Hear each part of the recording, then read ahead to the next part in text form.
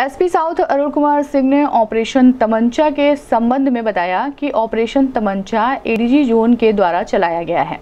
इस अभियान में जो लोग तमंचा बनाने तथा तमंचा खरीदने व बेचने का काम करते आ रहे हैं, उनके खिलाफ कार्रवाई की जा रही है।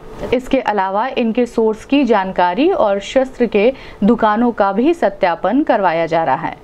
एसपी साउथ ने बताया कि ग्रामीण क्षेत्रों में अब तक अभियान के तहत सात अभियुक्तों को अवैध तमंचे के साथ गिरफ़्तार किया जा चुका है। उन्होंने बताया कि एक मामला यह भी आया है कि एक व्यक्ति के द्वारा अपनी ही गाड़ी पर अपने हथियार से फायर किया गया तथा वह व्यक्ति दूसरे व्यक्ति को फंसाना चाहता था। लेकिन पुलिस के द्वारा छानबीन करने पर वह पिस्टल उसी की निकली जिसकी गिरफ्तारी हुई। उन्होंने बताया कि यह अभियान तमंचा बरामद होने तक ही सीमित नहीं है।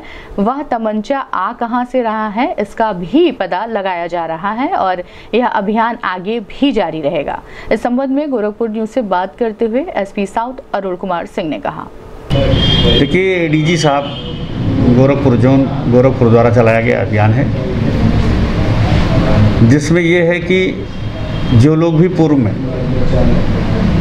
तमंचा बनाने का, बेचने का, खरीदने का काम करते रहें, इनकी सबकी तहकीकात की जाए।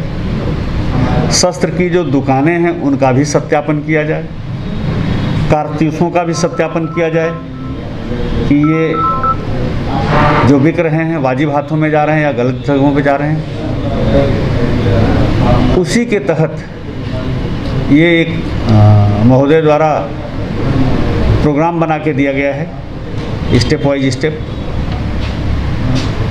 तो उसमें अब वैध हथियार जो हैं, उनके विरुद्ध भी अभियान है। साउथ क्षेत्र में अब तक कुल सात तमंचे बरामद हुए हैं। एक केस ऐसा भी आया है, जिसमें एक व्यक्ति खुद अपनी गाड़ी पे फायर मार करके और अपने विरोधियों के खिलाफ मुकदमा लिखाना चाहता था। लेकिन जब पुलिस ने तहकीकात किया तो पता चला कि ये पिस्टल उसी की अपनी निकली, जिससे उसने किया था। तो इस तरह से उसमें तमंचा सिर्फ़ बरामद होने की बात नहीं, बरामद होने के बाद उसका पीछे स्रोत क्या है, वो भी एडीजी साहब की मंशा है कि वहाँ तक भी खंगाला जाए। उसी के तहत ये कार्यवाही चल रही है। पूरे जनपद में चल रही कार्यवाही और जोन ऑफ़िस से चूँकि आदेश जारी हुआ तो एक तरह से पूरे जोन में चल रही है कार्यवाही